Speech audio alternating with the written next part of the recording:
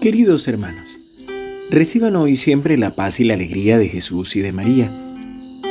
Hoy, miércoles 18 de mayo, la liturgia nos presenta el Evangelio de Juan 15 del 1 al 8. Jesús dijo a sus discípulos, Yo soy la verdadera vid y mi Padre es el viñador.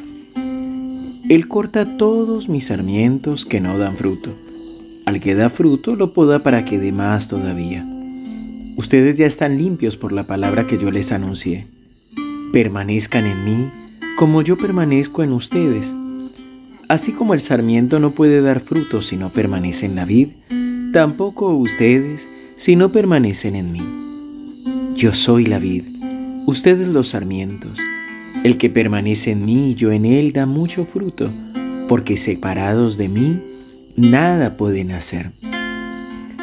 Pero el que no permanece en mí es como el sarmiento que se tira y se seca, después se recoge, se arroja al fuego y arde.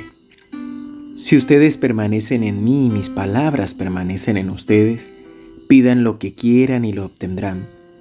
La gloria de mi Padre consiste en que ustedes den fruto abundante y así sean mis discípulos. Palabra del Señor. Gloria a ti, Señor Jesús. Así como la semana pasada Jesús nos hablaba de Él como pan de vida, esta semana nos está hablando de que Él es la verdadera vid y el Padre es el viñador. Es decir, Jesús es la cepa, Jesús es aquel tronco del que nosotros tenemos que estar firmemente agarrados. Jesús es la vid y nosotros somos los sarmientos. Adheridos a Él recibimos la savia, el alimento, la fuerza para poder florecer y también para dar fruto, fruto abundante.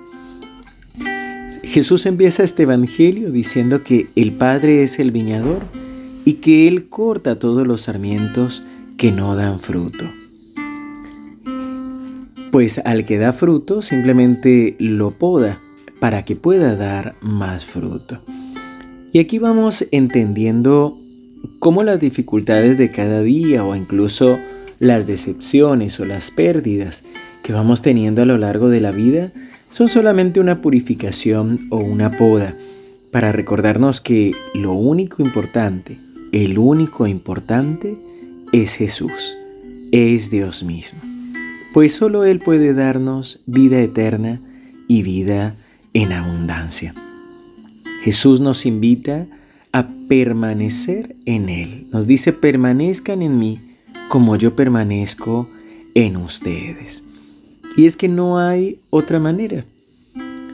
Es verdad que a veces ante las dificultades de la vida vamos teniendo también decepciones incluso con el mismo Dios. Psicológicamente hablando, podemos echarle la culpa, podemos sentirnos enojados con Él porque tal vez no ha hecho lo que nosotros queremos o no ha respondido como nosotros queremos. Y allí debemos pedir el auxilio del Espíritu Santo para poder reconocerlo y para poder pedirle a Él ese auxilio y esa gracia de poder superar estos sentimientos que nos alejan de Él. Jesús también nos dice que si permanecemos en Él, podemos pedir lo que queramos y lo obtendremos. Y es que cuando estamos unidos a Jesús y a sus palabras y las meditamos, pues solamente vamos a pedir su voluntad y por eso el Padre nos lo concederá. Por eso la necesidad de permanecer frente a Él e incluso cuando hay otros que nos hablan, que seguramente nos critican, nos llaman la atención, nos hacen la corrección fraterna, debemos ir una vez más delante de Jesús para poder decirle, Señor, esto es lo que me han dicho. Ayúdame a abrir mis ojos, abrir mi corazón para comprender si es así y ayúdame a cambiar si es necesario. Te invito a que oremos y le entreguemos esto al Señor. Señor Jesús, tú eres la vid y nosotros somos los sarmientos.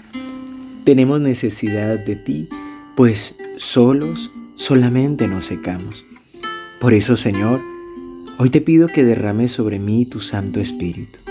Abre mi entendimiento, abre mi corazón, para comprender aquellas áreas de mi vida en las que estoy siendo egoísta, en las que me estoy cortando solo.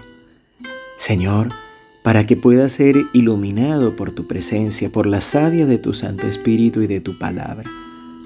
Señor, no quiero ser un sarmiento seco. Quiero, Señor, ser un sarmiento que da vida. No solo que brota, sino que también da fruto, pues quiero dar abundante fruto en ti. Señor, toca mi corazón. Libérame de todo aquello que me aleja de ti. Señor, Enséñame a permanecer en ti, a permanecer fiel en la oración. Señor, enséñame a confiar en ti, a volver a ti, a perseverar en la oración, en los sacramentos, a perseverar, Señor, en la lectura de la palabra y sobre todo a confiar en ti contra toda esperanza. Que la intercesión de la Virgen María me acompañe y la unción del Espíritu Santo en el nombre del Padre, y del Hijo, y del Espíritu Santo. Amén. Querido hermano, que el Señor te bendiga. Te recuerdo que hoy a las 19 horas de Argentina y por nuestro canal de YouTube SEM vamos a estar viviendo la adoración al Santísimo Sacramento, precisamente pidiéndole al Señor el permanecer en Él y poder vivir también el mandamiento del amor. Así que te esperamos unidos en oración. Hoy damos gracias a Dios también por un año más de vida del hermano Alan, así que te pedimos que lo tengas en tu oración y lo celebremos también dándole gracias a Dios por su vida.